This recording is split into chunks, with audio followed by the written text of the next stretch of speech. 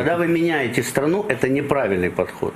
Нет такого понятия, как компетенция. Вы строите новую страну. У вас должен быть вождь, который тянет за собой все это. У меня идея. Налоговый рай на территории Украины. Есть пункты, которые нас ведут к налоговому раю. Вот отмена НДС, введение 10% налогов с заработной платы, распродажа госпредприятий, делать людей свободными. Это вождь должен делать. И ясно, что президентские полномочия дают больше возможностей, чем для рядового там Балашова, лидера партии.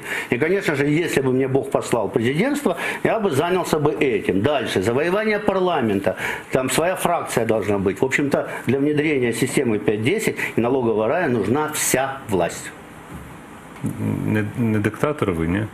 Ну, Причем здесь диктатор? Если люди хотят либертарианства, если миллион человек будут хотеть либертарианства, захотят 5-10, то при чем здесь диктатор? Мы осуществим их мечту быть богатыми.